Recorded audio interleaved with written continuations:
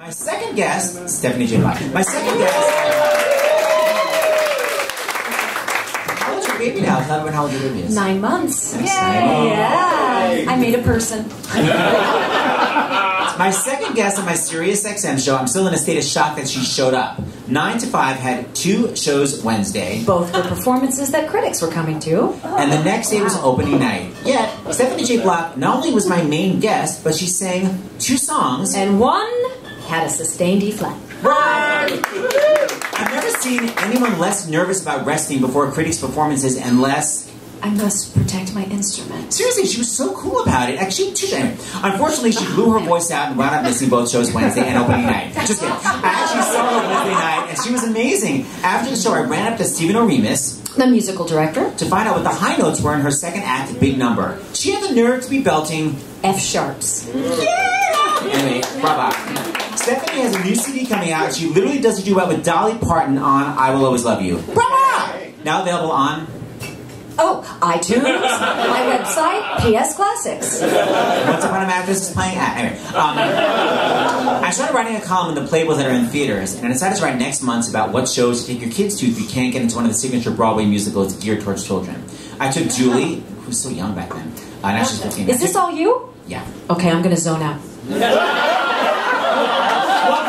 Well, because it doesn't make sense for you. I took Julie and Henry Gold, Judy Gold's son, to see 9 to 5. I watched 9 to 5 with my eyes half on the stage and half on the kids. Turns out they loved it, but they were blank faced when I excitedly told them that Stephanie was belting F sharps. Maybe they thought I meant F sharp above middle C. Should have made it clearer that it was an octave above that. Then I surely would have gotten the reaction I wanted. I was the only nine-year-old child who would listen to a Broadway record and immediately run to the piano to test what notes were being belted, what notes were mixed, and what note was in head voice. That's why I had 18 years of loneliness. It's all good. It worked out now. I got two books. I did a benefit for the Actors Fund called Nothing Like a Damon, interviewed Kelli O'Hara, Andrea McArdle, Bebe Neuwirth, Betty Buckley, Audra McDonald, and Stephanie J. Block.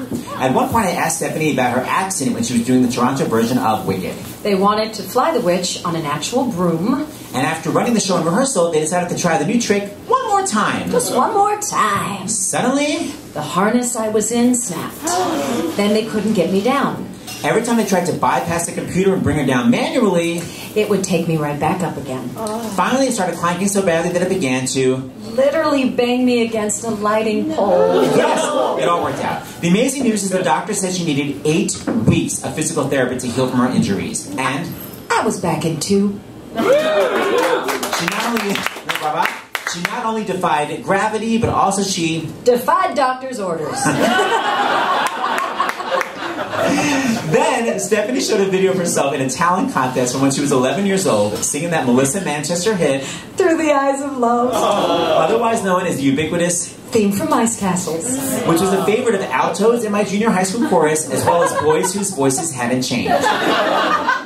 After Stephanie sang in the talent show video, the camera angle showed the side of the stage where a machine was oh. situated. Turns out the talent show was set up so the applause from the audience would move the needle of the, oh. of the so-called Famometer.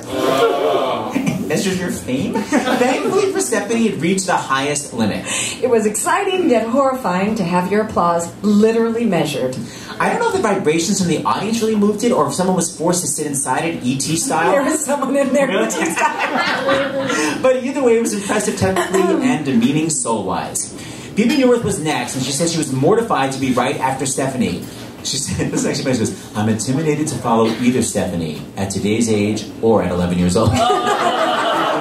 Hilarious. Hearing Bebe talk, you know that she had, she's had the same personality her whole life. She reminds me of Jonathan Freeman from, you know, Aladdin, who told me once, when I was 10, I was 40. this week I interviewed the fabulous belcher Shoshana Bean. She was the third Elphaba in Wicked, but auditioned to be the standby in the original production. She had to sing Defying Gravity for the audition, and I asked her how she learned it since the CD wasn't even out yet.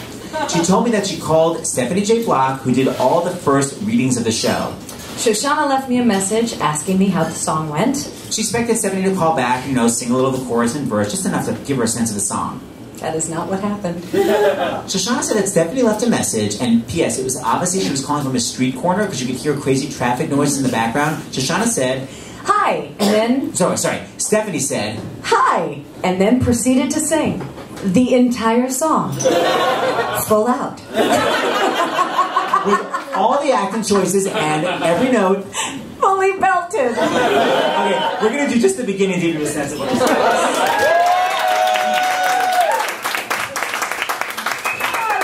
Oh, Are you guys gonna be the New Yorkers? Yeah! Shut up! I'm totally standing on 72nd and Broadway. Something has changed within me. You, got, you gotta make sure you're, you're growing. Yeah, yeah, yeah, yeah. Uh, you gotta make sure you're growing. So, so start, you know, don't belt it out right away. Something has changed within me. Something is not the same. I'm through with shut up playing the someone else's second guessing. Lomans is totally right there. Too late to go back to sleep. It's time to trust my instincts. Close my eyes. And then it'll be railroad tracks, so just hold as long as you need. and